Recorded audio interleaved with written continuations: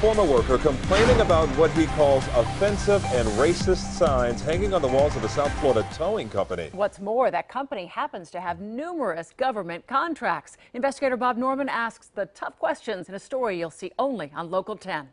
There's a sign with like, an alligator eating a little black baby. And the baby's called a dainty morsel. It's a Jim Crow era ad for something called Little African Licorice Drops. Another sign depicts a crudely portrayed black man in an obscene act. He's screaming out for his mammy. And there are more blatantly racist signs that have been hanging in this building.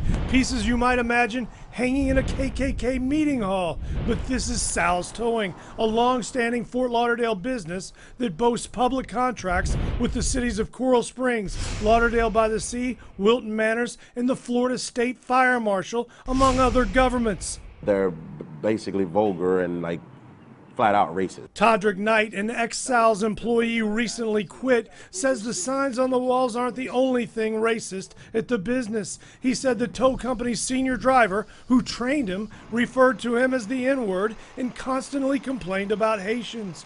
Hello. Hi, can I help you? I tried to ask owner Sal Belisai about it. Wait a minute, sir. What can I do for you? We soon spotted one of the offending signs and asked General Manager Leon Strife about it. Look, here's what I'm talking about. Look at, you see this sign right here? These signs are these signs are all over the the office. Can you see how somebody might have a problem with that sign? Use of color. These are antique signs all over this building. But don't you think they're racist? If you think racist, but we don't think racist here. He asked me off the property. You don't think those are racist? No, I don't think racist.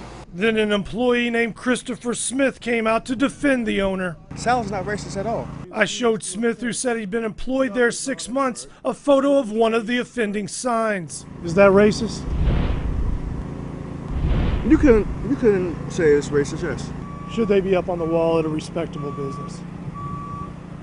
Well, no, it shouldn't. Smith also acknowledged that the senior driver had used the racist terminology in his presence. I would find it offensive, but if I know that's how that person is, then I laugh it off.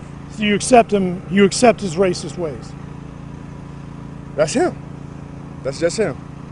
But do you think that Sal should accept that? No, I don't. I see discrimination. When shown photos of the signs, Coral Springs Mayor Skip Campbell said he was, quote, horrified. He said he directed his city to review its Sal's towing contract to determine if it violated any of the terms of the agreement. Is that the kind of business you want your city to do business with? No, it's not. You know, it's something that I don't think is permissible in today's society, and it's unacceptable. The owner, Sal Belisai, refused to go on camera, but he told me he didn't view the signs as racist at all and didn't see how anyone would be offended by them hanging at his business. But he did say that in light of the concerns raised in this story, he was taking those signs down from the business. Bob Norman, Local 10 News.